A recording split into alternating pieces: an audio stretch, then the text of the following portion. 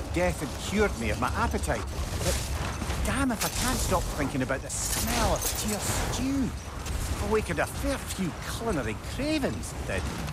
Black pudding, haggis and neeps. Oh, Porridge and honey. what about you, brother? Any pre-Fimbulwinter foods you're aching for? Olives. The hell's an olive?